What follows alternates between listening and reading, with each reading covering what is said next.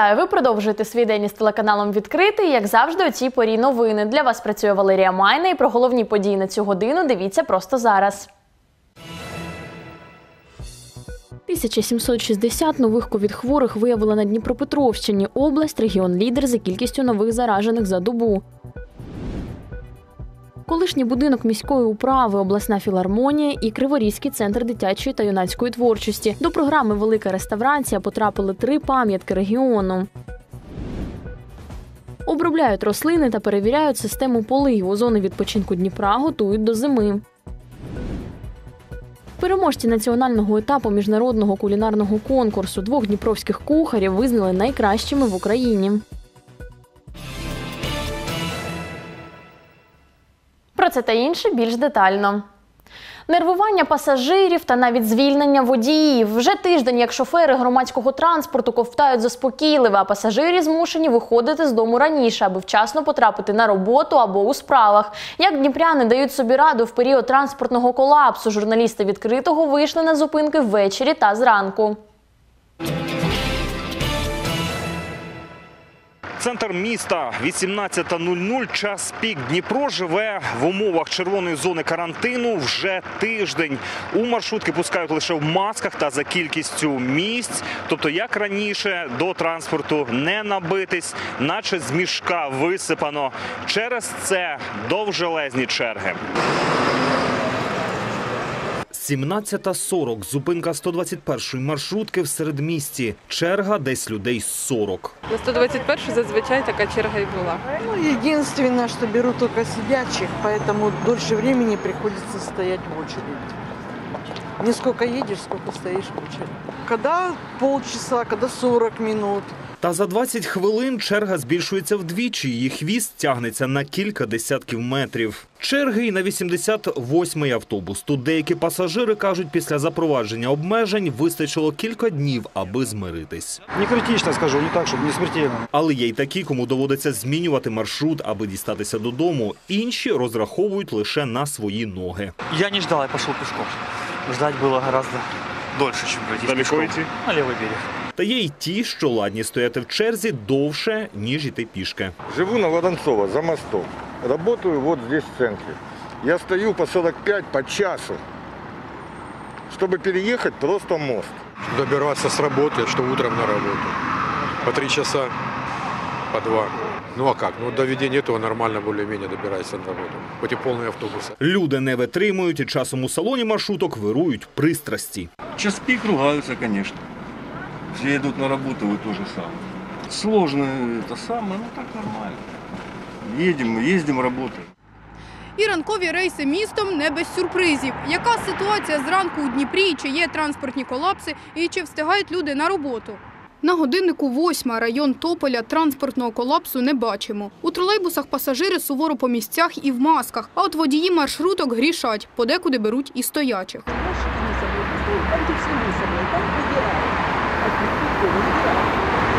8.30 – зупинка біля ТРЦ. Пасажири й водії усі в масках, проте часто густо транспорт забитий вщент. Пані Наталя на роботу щоденно добирається двома маршрутками. Останній тиждень вчасно не встигає, бо каже, стоячи не беруть. Стоячих не берут 100%. Уже несколько дней. Ну вот после постановления несколько дней. В любом случае надо выходить пораньше.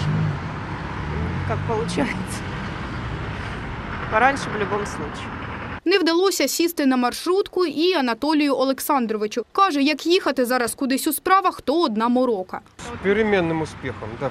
Когда, как? Да, конечно, хуже стало, когда этот карантин или как его назвать. Розанні Гетьман теж не пощастило. Водій і її не взяв, бо місць для сидіння жодного, а стоячи не можна. Треба маршрутки, щоб більше ходили. Тому що так не доїдеш. Або пішки йти. Було раз йшла пішки, тому що ніхто не взяв. Ну, я бува на машині їздю, а бува на маршрутці, коли я. Ну, тяжко. З маршрутками туди і обратно це жах просто.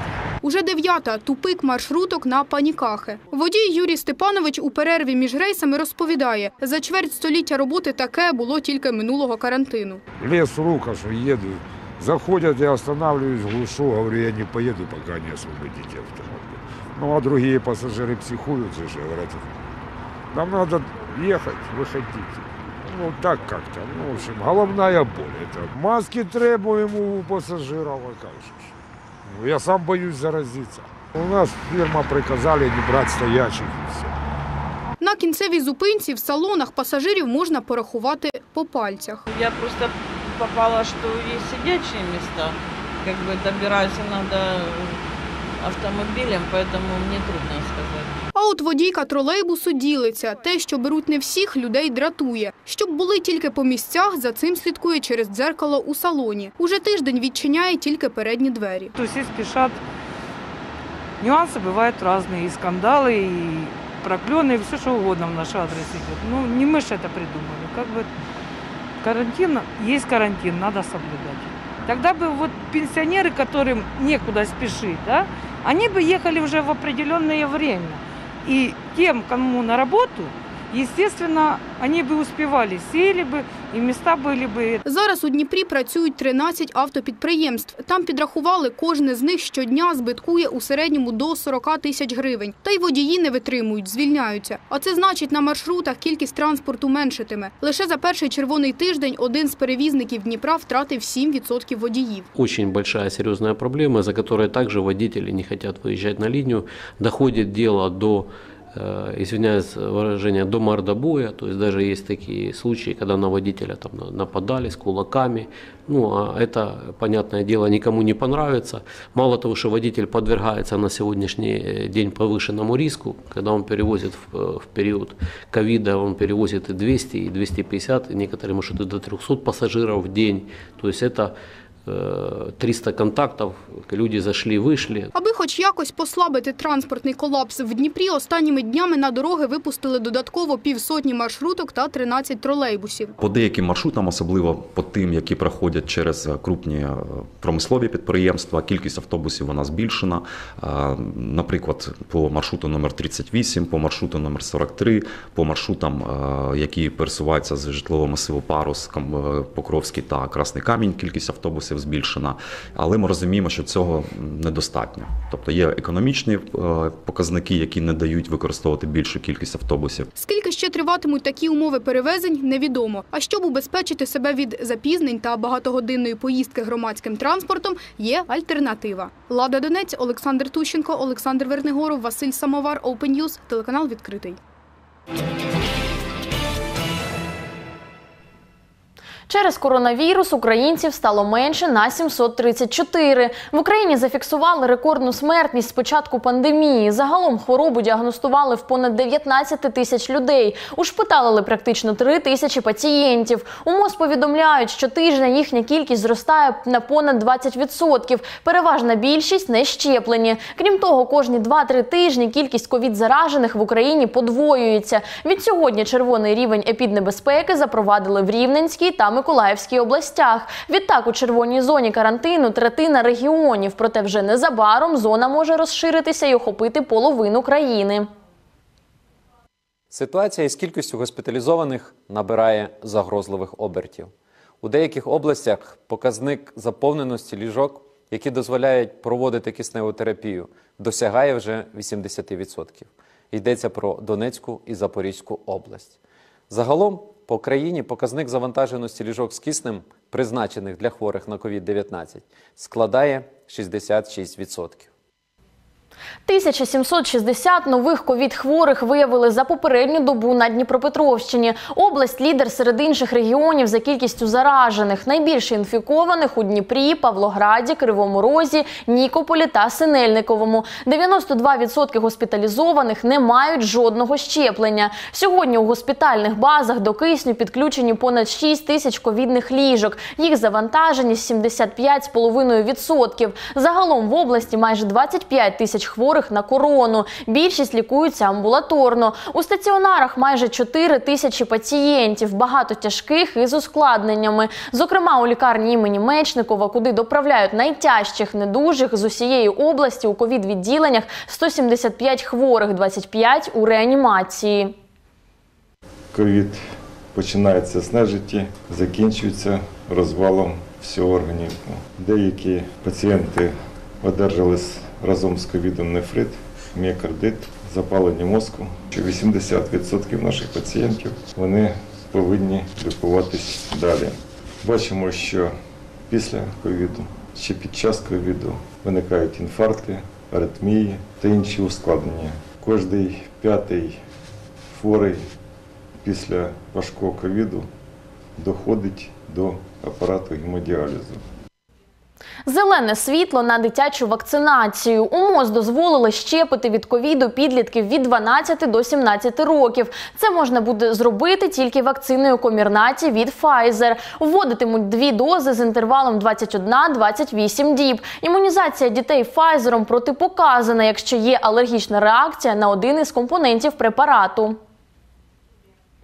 Дострокові канікули завершились і школярі Дніпра вийшли на навчання. Більшість на дистанційне. За постановою Кабміну у червоній зоні під небезпеки школи можуть працювати за умов 100% вакцинації персоналу. У Дніпрі учні 5-11 класів лише 23 шкіл навчаються наживо, інші на дистанційці. Ситуація в початковій школі краще. Уроки вдома виконують учні двох закладів. Інші заклади освіти міської ради будуть поступово виходити саме у навчання 5-11 класів в звичайному режимі. Е, Як поступово буде відбуватися вакцинація працівників? Випробувати свої сили в інтелектуальному конкурсі та позмагатися за звання кращого знавця рідної мови. На старті прийом заявок на другий всеукраїнський відкритий марафон імені Петра Яцика. До змагань можуть приєднатися учні 3-11 класів, профтехів, студенти вишів. Усе, що для цього потрібно, подати заявку та зареєструватися на платформі Human. Дедлайн 31 жовтня. Конкурс у чотири етапи. Усе онлайн. Учасники, які успішно їх пройдуть, отримають сертифікати. А ті, хто набере найбільшу кількість балів, дипломи. Завдання марафону розробила творча група вчителів та викладачів української мови. На її чолі відомий лінгвіст, доцент Київського університету імені Бориса Грінченка Олександр Авраменко. Учаснику надходить на електронну пошту інформація про те, коли, в які дні будуть проведені ось ці етапи, Е, посилання знову ж таки на е, платформу Human, де будуть вони розміщуватись. Учень заходить на цю платформу і там онлайні в дистанційному режимі виконує завдання. Все абсолютно е, збігається з програмою, з освітньою програмою, тому усі завдання доступні для дитячого сприйняття. Все це вони вчили. Фейковий сертифікат про щеплення не врятує життя. У кіберполіції наголошують, з новим спалахом пандемії почастішали випадки купівлі фальшивих ковід-сертифікатів.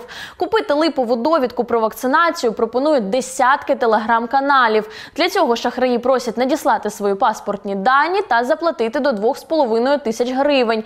Поліція наголошує, за підробку ковід-сертифікату можна загуркотіти за грати на строк від 3 до 8 років. А покупцям підроблених документів загрожує штраф у 850 гривень або до 2 років ув'язнення. Наразі в Україні справжність сертифікату перевіряють 1200 мобільних бригад. Обшуки проведено у київських ділків, харківських, у Мелітополі та в Запоріжжі. На початок цього тижня розпочато вже майже 100 кримінальних проваджень щодо підробки ПЛР-тестів та ковід-сертифікатів. Обласна філармонія імені Когана, корпус фахового коледжу на проспекті Яворницького у Дніпрі і центр дитячої та юнацької творчості металургійного району у Кривому Розі. Три пам'ятки культури Дніпропетровщини увійшли до програми Велика реставрація. Найстарша серед пам'яток будинок міської управи. Зараз це корпус мистецько-художнього коледжу. Будівлю звели у стилі віденського ренесансу на початку ХХ століття. На той час вона була одна з найвищих у місті. Три поверхи увінчували шість веж. Вони збереглися й донині. Будинок обласної філармонії звели у 1913-му. На той час це була грандіозна споруда, яка вважалася хмарочосом. Це унікальна для України та світу пам'ятка, виконана у стилі модерн. Фасад з округлими формами і високими вузькими вікнами. Загалом у переліку об'єктів, обраних для реконструкції, 26 споруд із різних областей країни. Легендарна Катюша отримає нове життя. У Дніпропетровському національному історичному музеї імені Яворницького бойову машину тимчасово демонтували і розібрали на частини. Усе через оновлення зали історії Другої світової. На переконання істориків, експонат радянських часів на сьогодні не відповідає новій концепції музею. Крім цього, розміри автівки не дозволяють вписати в історію зали чимало нових сюжетів, які замовчувалися за часів тоталітарного режиму. Проте БМ-13 Катюша збережуть. Експонат планують розмістити поруч у діорамі Битва за Дніпро. Експонат був розібраний без пошкоджень. Експонат не був зруйнований. Він е, розібраний на складові конструктивні частини механічним способом. Так само потім він буде зібраний тими самими фахівцями. Історична наука не стоїть на місці. Історична наука заповнює білі плями, які існували в радянському наративі. У нас з'явилося багато нових сюжетів. Тут потрібно чітко обирати, що ми хочемо бачити. В принципі, в залі ми хочемо бачити похідні групи ОУН, або ми хочемо бачити велику потужну Катюшу БМ-13. Ми хочемо бачити правду війни очима військовополонених, або це все ще БМ-13. Нам цікава доля дітей у вихорі війни, або це все ще та сама БМ-13. Перша масштабна реконструкція за півстоліття. На головній спортивній арені Новомосковська стадіоні Металург кипить робота. Будівельники вже звели дві глядацькі трибуни і починають третю. Загалом на них зможуть розміститися півтори тисячі вболівальників. Окрасою арени стане велике футбольне поле із газоном. Підрядники вже провели автополив. Тепер готують майданчик під професійний зелений килим. Навколо стадіону облаштують легкоатлетичний трек на шість доріжок, яму для стрибків у довжину і зону воркауту. Это, безусловно, хорошая возможность э, спортивно провести время. Это возможность э, побегать, э, как минимум поддержать свою физическую форму. Здесь часто играют в футбол, занимаются легкой атлетикой, поэтому это очень нужно нашему городу. Здесь мы надеемся проводить и матчи первой лиги ВПК «Агро» собирается представлять как город на Московской, играть первую лигу. Здесь будут э, под трибунами э, будут раздевалки душевые, э, комнаты для комментатора, для милиции, для для пожарників, е, тренажерний зал. Нове життя отримає стадіон Металург Новомосковську. Він бачив е, великі клубні баталії, коли трибуни були заповнені вщент. Наразі вперше за півстоліття триває його масштабна реконструкція. Зводять нові трибуни, оновлюється футбольне поле з натуральним газоном. Це для того, щоб мешканці Новомосковська е, займалися фізкультурою та спортом в сучасних умовах.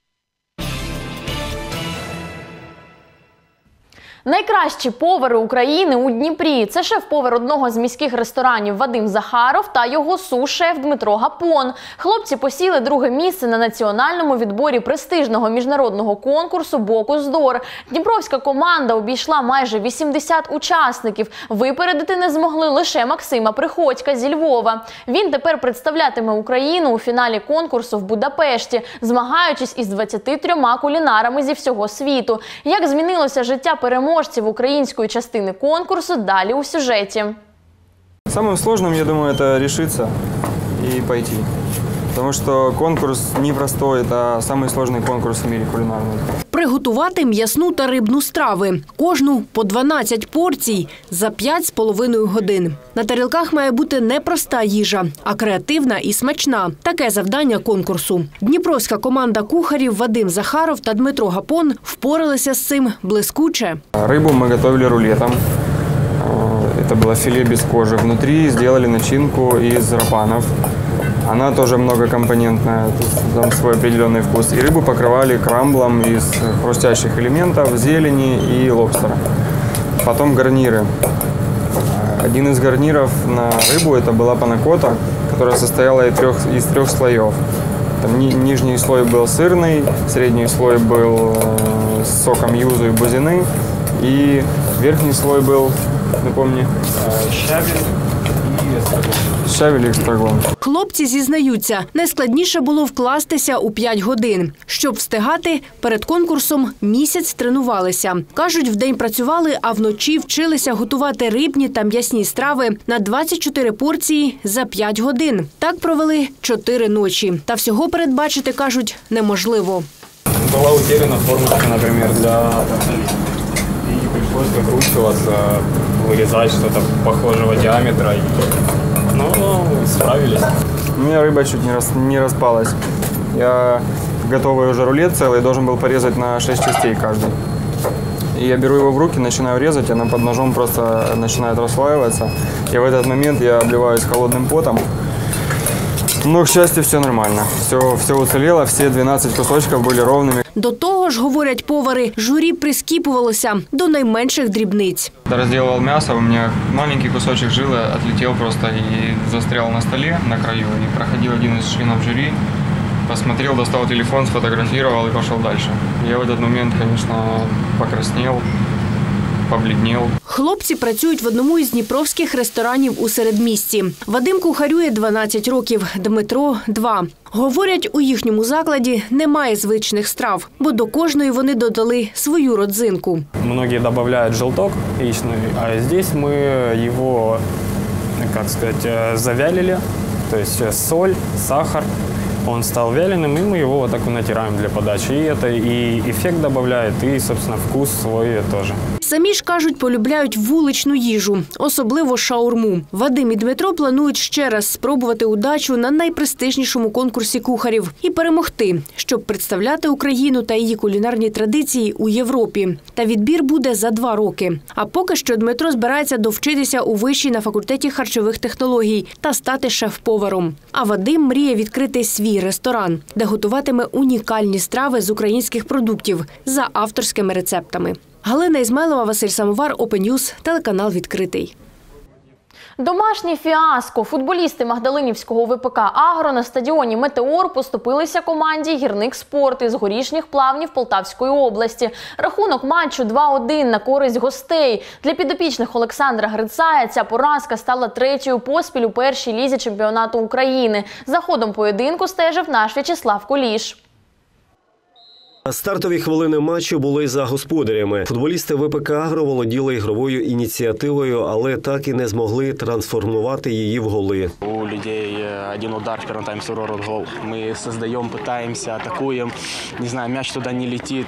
Э, Мы над этим акцент ставим, что нужно забивать свои моменты и не давать сопернику реализовывать свои. Не забиваєш ти, забивають тобі. Такий футбольний закон спрацював і в цьому поєдинку. Тож на перерву команди пішли із мінімальним рахунком 1-0 на користь гірника спорту. Перший тайм у нас не вийшло, але но повезло, що забили гол Поэтому, можно сказать, э, первый тайм можно внести актив как по результату, но не по игре. У другому таймі на футбольному полі точилася гостра гра на зустрічних курсах. Гольових моментів вистачало поблизу воріт обох колективів. Проте суперники лише обмінялися забитими голами. На більше не вистачило ані сил, ані часу. Утім, 2-1 перемога гостей. В перерыве поговорили, Перестроились немного в плане агрессии в атаке. И пошли моменты, комбинационная игра начала получаться. Хорошо за мячи цеплялись мы. Забили второй мяч, и вроде бы уже как и преимущество у нас, и моменты не забиваем, не забиваем. Соперник забил, и валидольную концовку сами себе придумали. Ну, хорошо, что выставили. Нельзя опускать руки, надо верить в команду, надо быть одним коллективом в первую очередь. И выходить, и забирать очки, добывать победы, забивать голы. Після 15-го туру українського чемпіонату першої ліги ВПК Агро залишається на передостанній сходинці. Реабілітуватися після третьої поспіль поразки команда з Магдалинівки зможе 31 жовтня. Цього дня вона вдома прийматиме футбольний клуб Кремінь із Кременчуку. В'ячеслав Куліш, Володимир Туркулець, Open News, телеканал відкритий. Фіолетові, жовті, помаранчеві, білі й рожеві. Ботсад Дніпра палахкотить різнобарв'ям. То квітнуть хризантеми й айстри. Дрібноквіткові сорти, кажуть, у ботсаду тішать красою довго. Вони розпускаються наприкінці літа, на початку осені та палають до морозів. Маленькі квіточки більш стійкі, ніж великі. Загалом у ботсаду майже 40 видів хризантем. Тут їх вирощують не перший рік. Побачити цю красу на власні очі та насолодитися квітковим ароматом відвідувачі ботсаду можуть у будні з 8 до 15. Це сорт Рінгоранж. Е, Ring Orange, е, це тріківайт, е, це у нас е, сонечко, це в нас е, космічна хризантема, це сонячний зайчик. Це всі, всі хризантеми, які тут є в даний момент. Вони квітуть майже одночасно. Ну, ці дрібноквіткові хризантеми, звичайно, китайські сорти, вони більш стійкі і не потребують особливих умов. Тобто їх може і в деяких випадках доводиться прикупувати. Але з іншого боку, в нас існує ціла колекція, яка не прикупується вже котрий рік, е, нібито тримається. На цю годину це остання інформація. Після випуску новин програма Шах і мат. Гість у студії протоієрей капелан Дмитро Поворотний. Він розкаже про служіння військового духовенства у Збройних силах України. Ще більше читайте на нашому сайті opentv.media, Сюжети переглядайте в соцмережах та на нашому ютуб каналі. Якщо маєте цікаву новину, телефонуйте на гарячу лінію 068 123 48 54. Залишайтесь з відкритим та на все добре.